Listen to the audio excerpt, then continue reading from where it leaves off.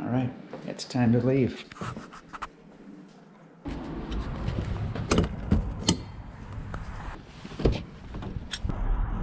Since this is for healthcare workers, they do want me to prove that I'm a healthcare worker.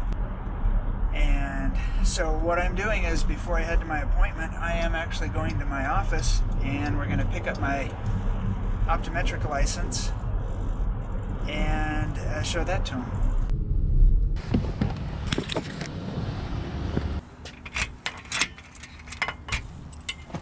Oh, got to turn off the alarm. And here's the professional license in a conspicuous place like they've asked us to do. And we're off.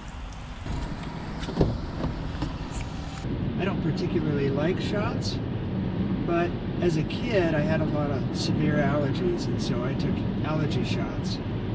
And uh, you might know that you start out one shot every week and then every two weeks and then later on it's every month and then every two months and then they eventually spread them out and that's how you build up your immunity. That's a lot of shots for a 12 year old kid. So I just learned how to take shots and if you want a tip, the more you relax your arm, completely relax your arm, the less you feel. If you're all tensed up, the more you're going to feel it. I've actually had shots where I didn't even feel them because I was able to relax so much. So right before getting the shot, just relax. It'll be much better. There's the signage right there.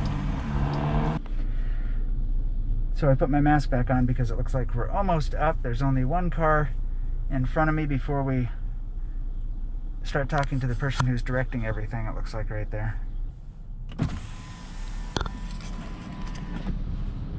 how are you? Good, how are you doing? Doing fine. Good, Uh, good. Are you here for a test? I'm actually here for the vaccination. Great, and you got your email? Yep, the- I do. Okay, I got the QR deal. code. Um, so I'm actually gonna send you straight through to lane three, okay? Okay, thank you. I appreciate it. Yeah, of course. So while we're waiting here, I'll just talk to you a little bit about at least what I found out about the the vaccine. I know it's controversial. When I told somebody that I was going to be coming here and kind of video documenting my experience and posting it, they were a little bit concerned about it being so controversial. And I, can understand why it's controversial. There's a lot of uh, misunderstanding out there too, and there's probably some valid concerns about it also. But I did a lot of research, and so maybe while we're sitting here, I can tell you about some of the things that I discovered about the vaccine. So, this vaccine is, is very interesting. It's actually called an mRNA vaccine, which M means messenger. The way that uh, viruses work is that they infect your body, they have mRNA inside of the virus, they then attach themselves to a cell in your body and then inject that mRNA into your into your cell and then use the cell as a factory to produce more viruses. And so what this does though is this particular uh, one. I know a lot of people are concerned about getting sick from the vaccine, and that's a possibility, but not from the vaccine. You could also be already infected and just happen to have now started having symptoms after you got the vaccine, but the vaccine cannot cause the virus or any illness at all. Uh, you might have some side effects to it. You might feel a little bit sick afterwards, but that's not necessarily the virus, that's your immune system ramping up. The way it works is that this vaccine is the mRNA portion of it. It's not a it's not a virus, it's actually only the informational part. It then tells your body to produce only some of the virus, in other words, it's kind of like having a Lego set and only having half the instruction booklet. You can't build the entire model because uh, the rest of it is missing, and that's exactly what happens with this. Your body only produces a part of the of the virus, just enough for your body to realize that that's foreign. It builds up an immunity against that, and then the next time you come in contact with that virus, it attacks it and destroys it without it actually progressing to a full blown disease. So that's how the vaccine works. So, no, you cannot get sick from this vaccine from the virus itself because there is no virus that they're putting into you. It's only the instructional booklet and only half the booklet on how to make viruses that they're injecting in. We are almost there. It looks like I'm four cars away now. That's pretty exciting. I know a lot of people are concerned about what's in this vaccine. If you go to the CDC's website, they actually have all the ingredients listed there, and there's only about four ingredients. There's the mRNA, which is the uh, part that does all the work. Lipids, in other words, proteins are in there. Saline, and interestingly enough, sugar. There's a little bit of sugar, and then that's just to keep the proteins from sticking to each other and to the uh, vial. Uh, now, anybody who knows me knows that I'm not opposed to sugar, especially in the liquid form. So, you know, I think I'll be just fine with having just a little extra sugar in my body. I doubt it's that much sugar. I'm sure it's quite a small amount. Got to get my mask on here. Hang on.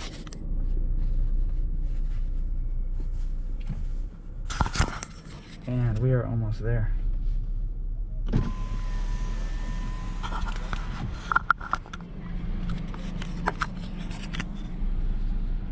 Maxine? Yes. Okay. Lucky day. QR, QR code? Yes, please. Okay, hang on. Video documenting it also, if you don't mind. Okay, no, no problem.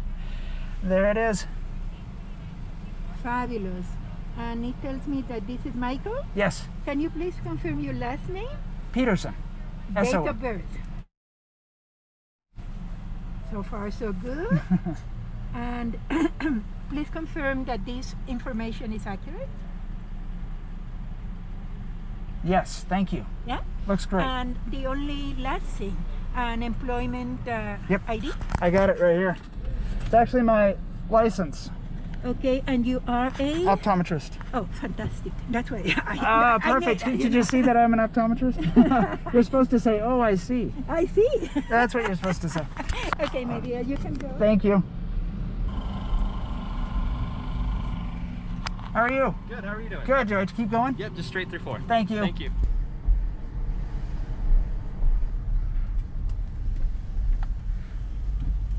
This is like going to an amusement park.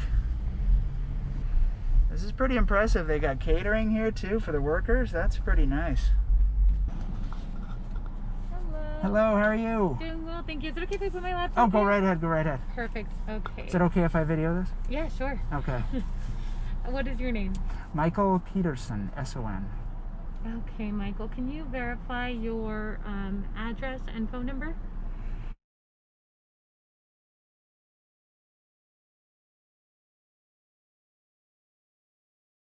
What else? Phone number? Thank you. Okay, and then she's just gonna get your name and she's gonna hand you a card. Um, it'll tell you when to come back. Okay. Perfect, thank you. What's your first and last name? Michael Peterson, S-O-N. At least it's a fairly nice day. Yes. My hands are cold though, so I messed up your name, so that's why it's scribbled out. That's okay. Um, date of birth. Am I just going through? Yep. Okay, thank you. Yep. You're welcome.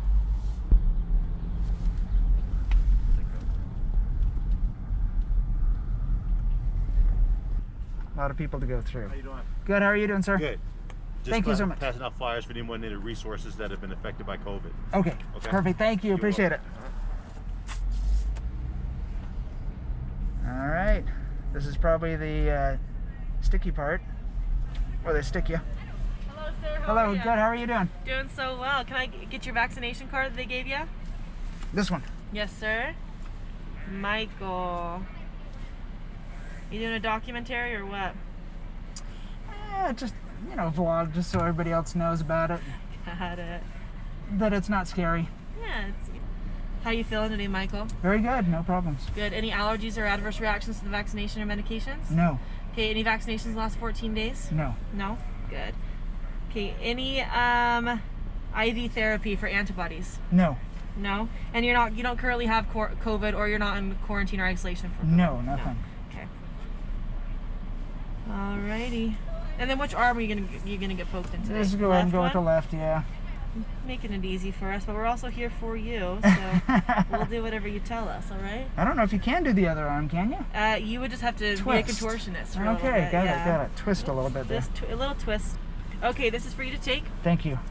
Um, when they poke you in the arm, some minor side effects you're going to have is you are going to have a sore arm for the next couple of days. The more you move it, the better it's going to feel. Okay. You may also experience some mild flu-like symptoms. If you do, please feel free to take any medications you normally would take to help alleviate those symptoms. Okay. That would include like headache, nausea, vomiting. It's the- I mean, those are nausea and vomiting are way down the list. It's it, the top one is a sore arm, headache, and then maybe some body aches. Okay. And um, a maybe some fever and chills, things like that. Okay. But a nap goes a long way, in all Okay. honesty. Okay. Perfect. Thank you so much. Alrighty, we're gonna have you pull all the way up to Heidi, and she's gonna give you your There's shot. Heidi okay. right up there. Okay. Thank you, sir. That's probably the closest I've been to a stranger in a long time. Hello, Hello, Heidi. Is that okay if I video this? Yeah, I don't Okay, mind. thank you. How are you? Good, good. Um, could you? We're gonna go right here? me? Yes. Yep. So after you get your shot today, we're gonna have you go to a little waiting lot over there for 15 minutes. I You time yourself. If for some reason you're not feeling good, you feel like you're having a reaction, you honk your horn and put your hazards on, and someone will help you right away. Okay, very good. I haven't seen anything crazy today, so we're just gonna All right. let's not start here, you know. Yeah, that's right. Okay, we're gonna actually relax your arm down to the side. It'll feel a little bit better for Hang you. on. I gotta get this up here further. Yeah.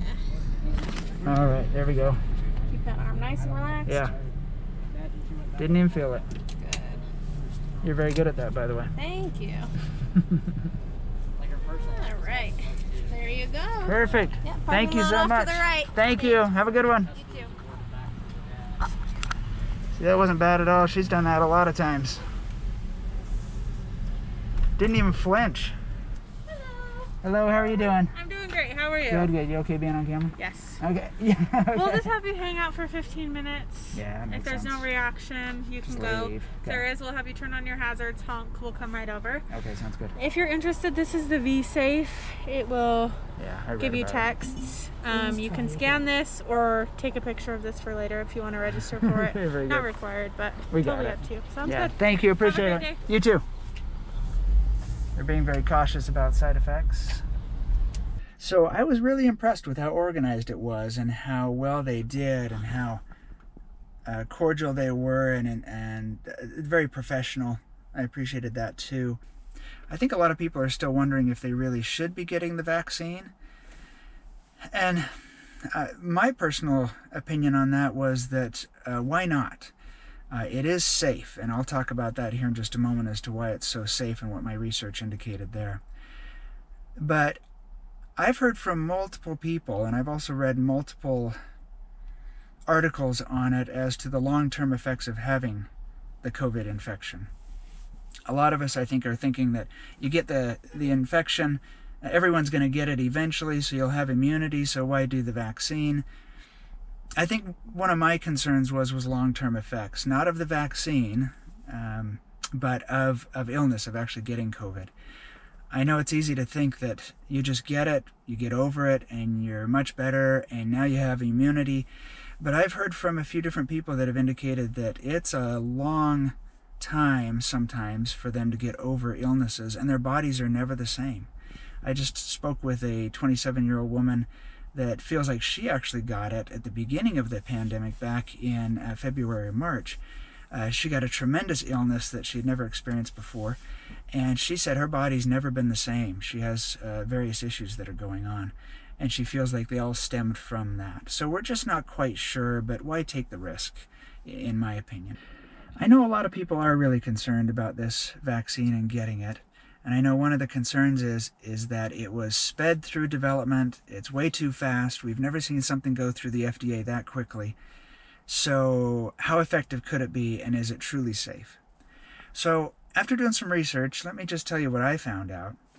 So, COVID 19 is actually the disease that is caused by a virus called co- uh, SARS CoV 2. SARS stands for uh, Severe Acute Respiratory Syndrome.